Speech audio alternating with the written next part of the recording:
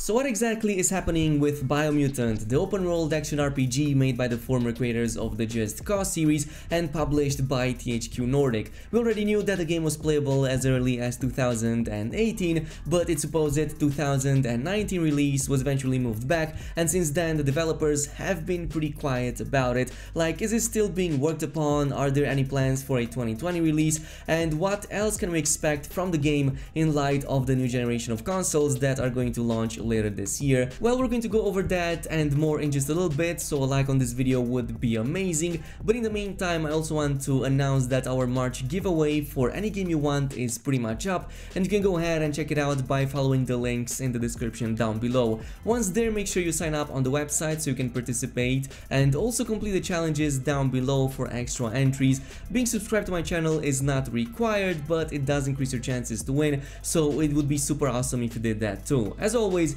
a huge shout out to Instant Gaming for helping me with these giveaways. Anyway, let's begin with the latest statement from Experiment 101, the developer behind the game from earlier last month when they had this to say. According to their Twitter post over here, the Swedish developer wants to assure everybody that the game is still very much in development and that they've never been working harder and more focused on it up until now. We're doing everything we can to make this the best game all of us have ever worked on and that it will be as entertaining and great as we can possibly make it. We can only hope for your continued support and patience as we complete the final stages of its development. We will reveal the release date as soon as everyone at the studio feels confident about hitting the date and that the game is ready for it, end of quote. And to be perfectly honest, I think that the studio's approach of taking their time and making the game as good as possible is a solid one. I mean, even though it is made out of developers that worked on big titles before, like the Just Cause games I was talking about, it is still a new studio nonetheless, and the game does still look very ambitious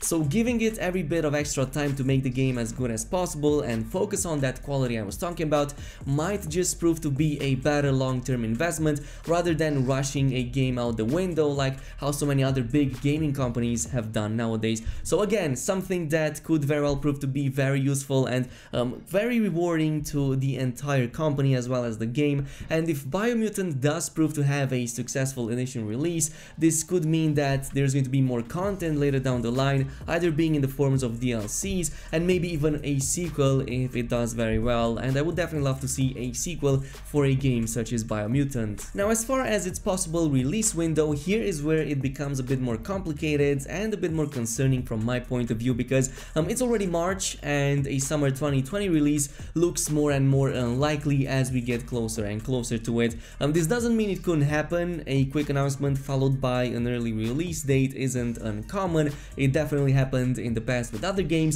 but considering they've taken their time with everything up until now, I just don't see that to be quite likely. I, I don't think they're going to rush everything down the very last second, so this could very well be an announcement followed by um, a release window a few months after that. Um, for example, even at the current time, both the official website as well as the Steam page still show 2020 as the release date, but the precise day and month isn't shown anywhere, and it's not like uh, this wasn't subject to change in the past as well anyway. So for example, in 2019, the same date was shown both on the Steam page as well as on the website, but eventually that got changed as well. So definitely take any release date that isn't officially confirmed from the company with a massive grain of salt. This pretty much leaves us with two possible time windows, either late summer, for example, an August release, or sometimes in mid-fall because, well, well around that time is when things kind of die out a little bit as September of 2020 is going to be a huge month for gaming because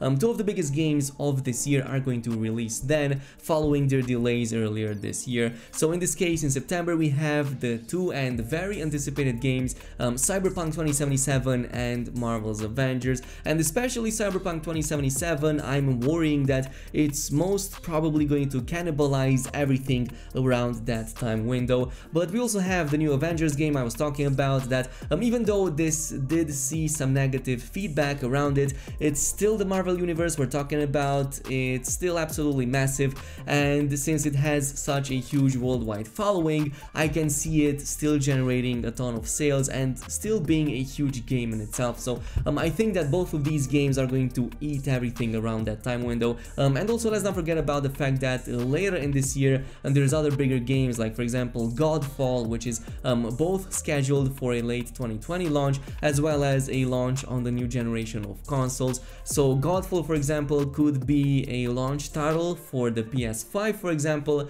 and that would place it sometimes in December and what this means is that we have the months of October and November um, pretty much being left a little bit open over there and also likely candidates for a Biomutant release in 2020. So yeah, even though this is still all speculation on my part, I could be wrong. Uh, it's more likely going to be November in my opinion if I were to bet my money on it, just because it looks a little bit more clear than the other release windows. And uh,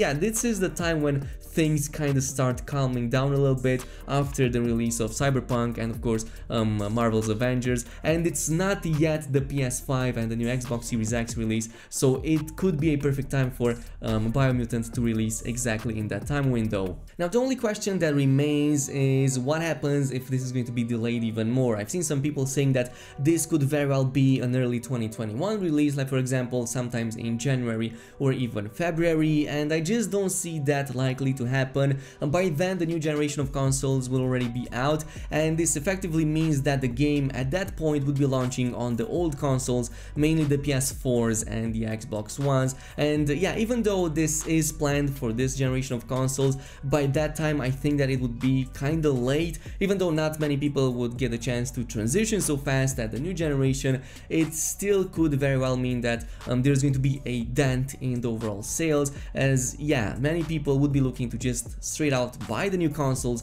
and play the newest games and if there's any old game that they might be playing or wanting to play they could very well do that through the backwards compatibility. So again the conclusion if the game doesn't get any announcements in the upcoming month it's most probably going to be a mid-fall release with a likely candidate being November of 2020 or at the very least that's what I would bet my money on. Anyway the game does look very ambitious but I do have confidence in the team. This is the same team that created the Just Cause series, especially Just Cause 2, which was arguably one of the best Just Cause games, well, of any other games that have been released in the series, and it's something that I played extensively when I was younger, so um, definitely something that made my childhood, so um, a very fun game, which is why I kind of want to see what's the next level for the team and what they are going to bring next. Um, but anyway, this game, Biomutant, is supposed to be a post-apocalyptic kung fu fable-like game. Um, it's set up in an open world with multiple biomes, zones and enemies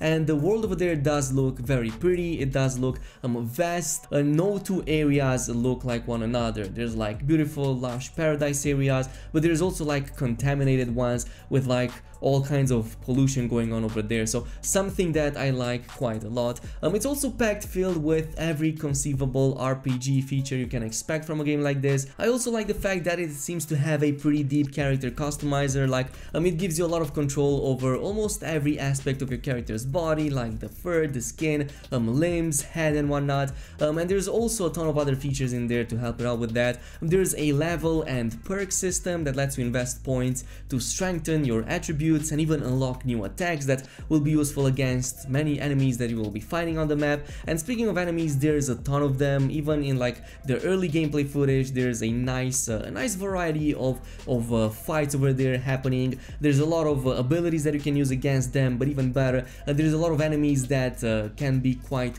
threatening, um, they seem to be quite difficult at times, and it also seems that there's a nice number of huge boss battles, and I am always a fan of huge boss battles, especially in an action RPG like this one. As far as gear systems go, it's surprisingly similar to games like Borderlands for example, where you have a rather large variety of weapons with all kinds of affixes and elemental effects on them that you can further combine to exploit enemy weaknesses, so it's interesting to see how this is going to all pan out because it does sound like some elements might be better against certain enemies and some might not, so you will have to pay attention attention to it and create proper builds, which definitely reminds me of games like Borderlands, which I already covered quite extensively here on this channel, so um, something that I find to be quite fun and interesting to do. Overall, the game also has some gorgeous to look uh, graphics, um, it's been looking good even in its first reveal in 2017, but as more and more gameplay was revealed over the years, it became even better and looked even more impressive,